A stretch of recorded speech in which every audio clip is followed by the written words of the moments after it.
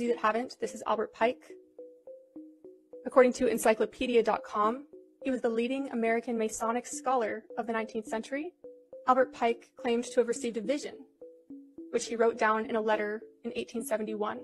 This isn't hearsay. This can be found in the U.S. archives at archive.org, and it was also displayed in the British Museum Library in London. He describes three world wars. Two world wars have obviously already happened, but I'm going to read you what he said about the Third World War.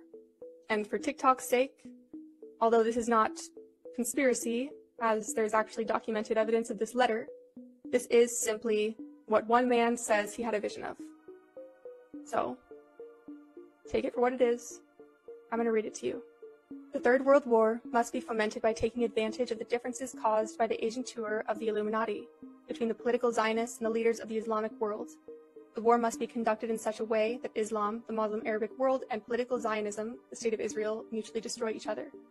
Meanwhile, the other nations, once more divided on this issue, will be constrained to fight to the point of complete physical, moral, spiritual, and economical exhaustion.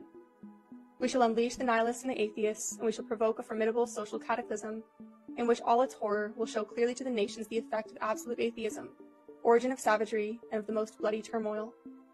Then everywhere, the citizens, obliged to defend themselves against the world minority of revolutionaries, will exterminate these destroyers of civilization, and the multitude, disillusioned with Christianity, whose deistic spirits will from that moment be without compass or direction, anxious for an ideal, but without knowing where to render its adoration, will receive the true light through the universal manifestation of the pure doctrine of Lucifer, brought finally out in the public view.